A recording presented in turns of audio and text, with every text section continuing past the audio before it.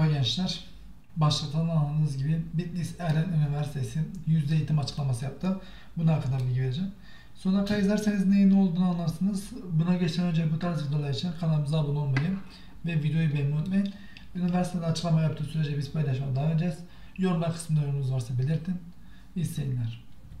Arkadaşlar e, Bitlis Eren Üniversitesi Rektörü Necmettin El Elmastaş 2021-2022 eğitim öğretim yılı güz döneminde 13 Eylül'de başlayacak. Bu tarihten itibaren tüm öğrencilerimizi üniversite bekliyoruz dedi.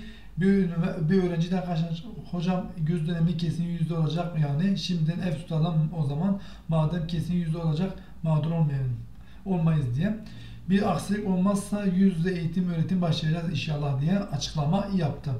Kanalımıza abone olmayı ve videoyu beğenmeyi unutmayın.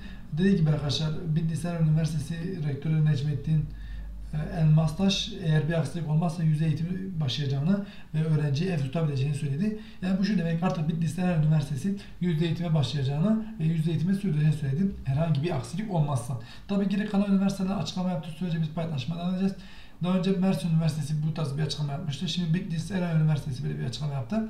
Geri kalan üniversiteler bir açıklama yaptığı sürece biz paylaşmaya devam edeceğiz. Ama neticesinde Bitlis Eren Üniversitesi yüzde eğitime geçtiğini burada net bir şekilde söylüyor. Yine kalan üniversiteler açıklama yaptığı sürece biz paylaşmaya devam edeceğiz. Siz kanalımıza abone olup ve bildirimleri açaraktan bu tarz videolardan haberdar olabilirsiniz. Sizce Bitlis Eren Üniversitesi'nin bu e, açıklamasını nasıl buluyorsunuz?